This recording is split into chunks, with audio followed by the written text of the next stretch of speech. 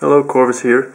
Uh, welcome to this video where I will answer a question of a, of a user I got. Uh, I think it was on my, my showcase video about Dark Vlad or else it was on the latest desktop update video. I forgot. But basically the question was uh, how I painted the, the cloak of, of this figure. Um, now instead of just giving a list of colors I used, uh, I decided to, to make a short video about it. Um, that will give you some insight on how I use colors and why I use them. So before we start uh, discussing the paints, I'd just like to show you this. It's, uh, it's my book of secrets uh, that contains a lot of paint recipes of models I used. Um, I don't always do this, but, but sometimes when I start working on a model, um, I surely, for the, for the large areas, I always write down uh, the paint recipes. Um, two reasons. First of all, um, if I want to have a similar look on another model later I just can consult this, this uh, these recipes here.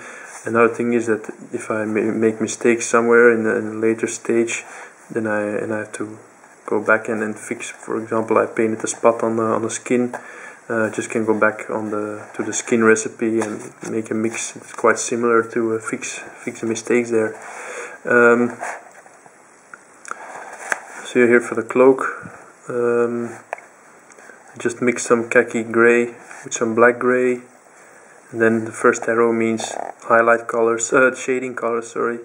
There's a mix of violet, red and black and then to create the highlight I use Deck Tan. Uh, first pure Deck Tan and then I mixed in some white. Um, so for the mixes I uh, do one part of this, one part of that. It's usually 50-50 mix. Or here for the metallics I used 4 to 1 chainmail Tin Bitz means four parts of chainmail and one part of Tin Bitz. Um, I don't measure any drops or something. I just yeah. Uh, usually I just judge the amount of paint. It's not precise knowledge, uh, not precise science, but uh, that's really not really a problem. So um, like I said, the, the, base coat of the cloak was done by mixing a 50-50 uh, mix of khaki gray and black gray. Um, I got a lot of comments on uh, on Dark Vlad, saying people saying yeah it's a cool mood, uh, really uh, dark and moody paint job. In the past also I got some other comments on other paint jobs I did. Um, yeah, people like the some not all of them of course like the the desaturated the, the monochromatic look. Um, that's really something uh, of me that I just a technique a style I developed over the past years. Um, so how do I achieve this style is basically by mixing in a lot of grays uh, in the, the paints I use. So I rarely put on pure paints like this. Uh, usually mix in a bit of, of gray, grayish tones. Um, this khaki gray is also quite gray of itself.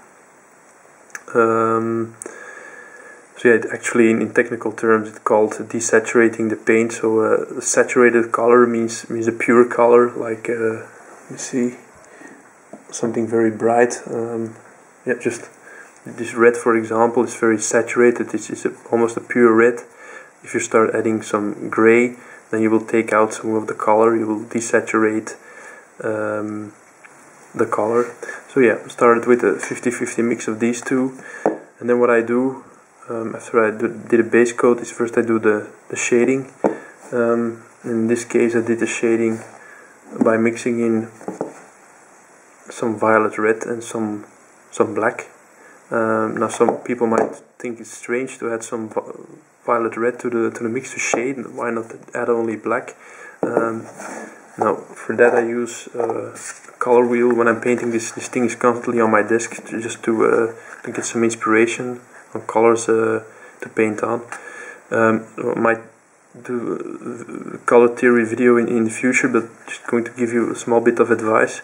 If, for example, you want to shade a color, for example, red, you have to look at the other side of the color wheel and add that color. So if you want to shade red, you can add green. Just just try it.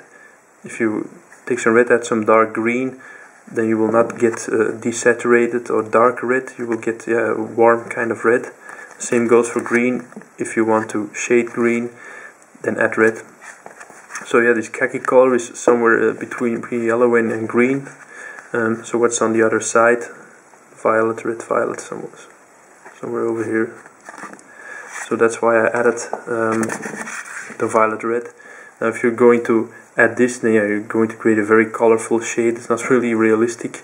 Um, so as I go, I just add a bit more black. So I start with a with a pool of violet red with only a pin pinpoint of, of black in it, and then I add a bit more black to the mix. Uh, and then to create the highlight, I started off with the Deck Tan, pretty nice color, and just very warm, uh, warm off-white. This is not wide enough to create a final highlight. To do that, I uh, added a bit of pure white. And then I did something I guess if I remember correctly something I didn't uh, write down in, in the notebook. That was applying some some glazes.